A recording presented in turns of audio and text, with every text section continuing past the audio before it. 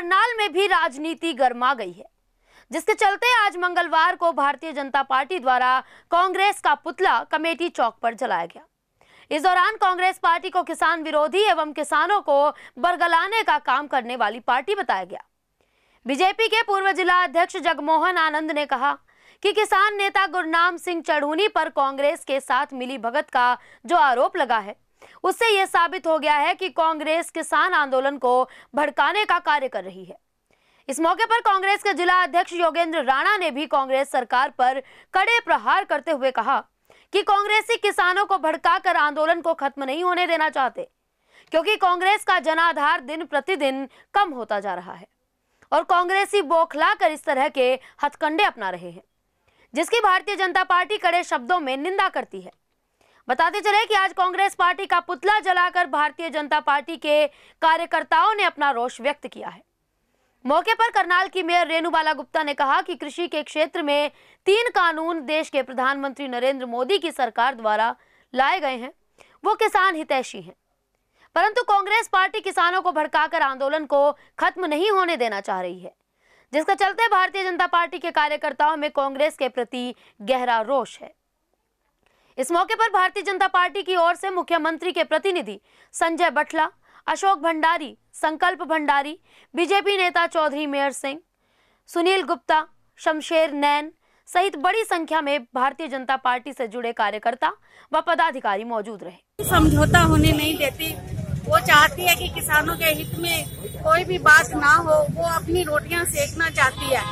हमारे माननीय कृषि मंत्री जी ने किसानों से बात की है तो विपक्षी पार्टियाँ उस पर अपनी राजनीतिक रोटियाँ सेकती है। हमारे भोले वाले किसानों को बरगलाती है।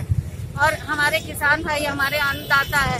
हम चाहते हैं कि सर्दी के मौसम में वो अपने घरों में जाएँ अपने घरों में आराम से रहें।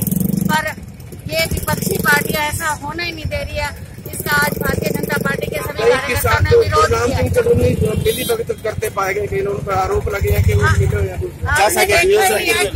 गुरनाम सिंह चढ़ूनी अब सबके सबके सामने उसकी सच्चाई आ भी गई है कि कांग्रेस से किस तरह से वो सांठ गांठ करके और किस तरह से किसानों के साथ एक राजनीति कर रहा है।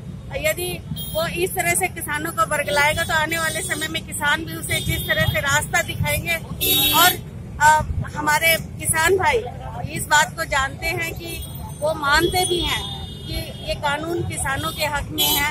और ये आज भारतीय जनता पार्टी ने अपना रोज दिखाया है, विपक्ष पार्टियों के हमारे साथ और भी अपना नेता हो, वो सब कांग्रेस को गुमराह कर रहे हैं। एक स्थिर सरकार को गिराने का अगर काम कर रहे हैं तो उसके लिए भारतीय जनता पार्टी का प्रत्येक कार्यकर्ता सड़कों पर उतरकर इसी प्रकार का विरोध करेगा इनका पुतला जलाएगा।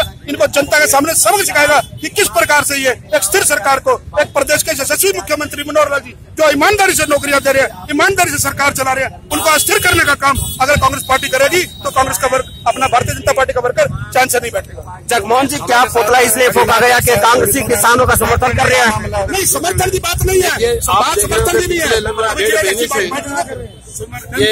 ये किसान जो अध्यादेश है इनके खिलाफ कुछ राजनीतिक लोगों ने एक षड्यंत्र रचा रखा है और वो पिछले डेढ़ महीने से बैठे हुए हैं। भोले वाले किसान हैं, उनके भोलेपन का फ़ायदा उठाकर कांग्रेस पार्टी केजरीवाल एक राजनीति कर रही है।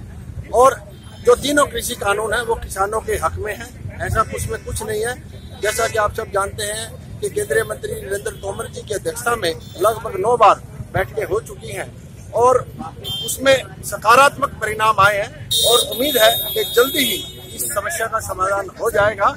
और मैं जैसे कांग्रेस पार्टी के जो नेता है, वहाँ जाकर ओछी राजनीति करते हैं, बॉर्डर पे जाते हैं और किसानों को बहकाने का काम करते हैं। मैं इस, उसमें भारतीय जनता पार्टी के सभी कार्यकर्ता किसान किसानों के जो बहका रहे हैं, अपना कांग्रेस पार्टी कांग्रेस पार्टी का विरोध करते हैं और कांग्रेस पार्टी को ऐसी अच्छी राजनीति आ गई है कि वो किसानों को बहकाने का काम कर रही है।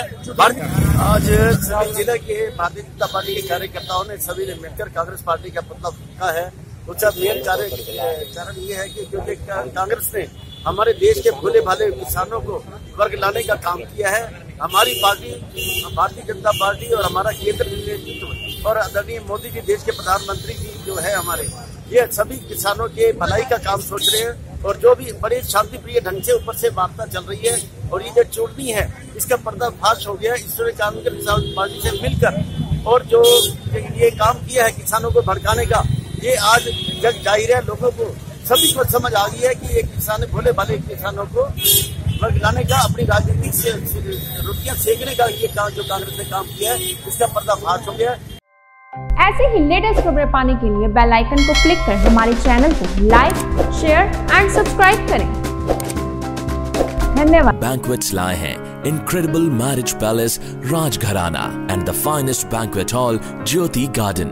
World class catering, centrally air conditioned, lush green lawns, state of the art lighting. A perfect venue for wedding, launching and parties. Rajgharana and Jyoti Garden at JBD Banquets Enterprise.